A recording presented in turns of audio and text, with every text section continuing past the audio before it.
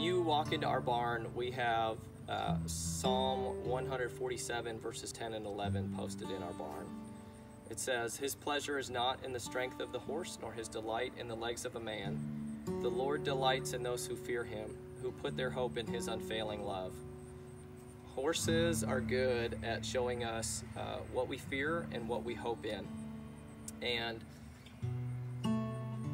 our prayer is that for our students, they will put their, they will fear the Lord.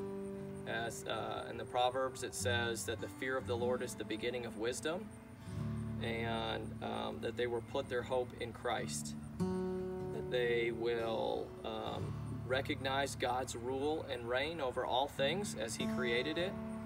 That they will um, understand their own part in rebelling against God's good rule and reign, um, which the Bible calls sin.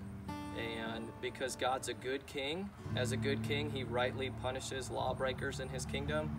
And that they will understand Christ's perfect life. He lived a sinless life. He perfectly obeyed the Father and all the way to death on a cross. And in doing so, he trades us his record of perfect obedience, he transfers to us and he takes on him our record of rebellion. His resurrection from the dead shows that God was pleased with his perfect life and living sacrifice, and uh, we can receive that free gift. In John chapter 1, verses 11 to 13, um, it talks about how Jesus came to his own, but his own did not receive him.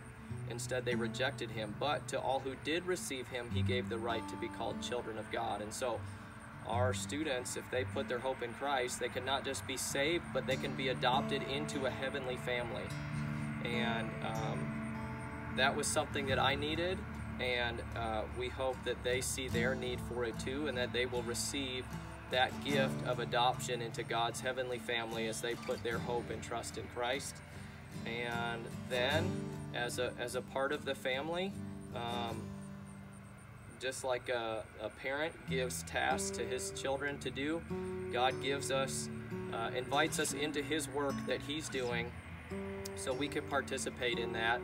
And that turns our eyes to our hope of uh, life forever with God in heaven. And so as the, as the students come to the barn, and sometimes those horses show us what we fear or what we hope in. Uh, we pray that the Spirit would open their eyes to see their need to fear the Lord and to put their hope in Jesus. And please join us in praying for them and for guests and visitors who come and interact with our animals and in the horse program. And please join us in praying that they too would have their eyes open to their need for Christ and would receive Him and uh, live lives of faithful obedience for their good and His glory as the Holy Spirit lives in them and helps them live that out.